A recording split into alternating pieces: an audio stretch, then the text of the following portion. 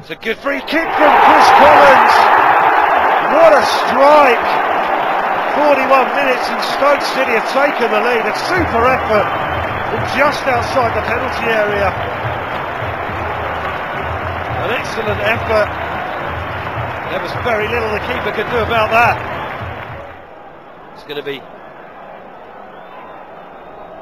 Graham Barrett to have a go, and it's very close. Good save. On the Stoke keeper. Pushing the ball away. Barrett trying to get Coventry right back in this game. It's a corner. Good delivery. Headed away. Pulls with a shot. Gets a deflection. That was on target. The Coventry City man got in the way of the ball and made sure Stoke couldn't double their lead.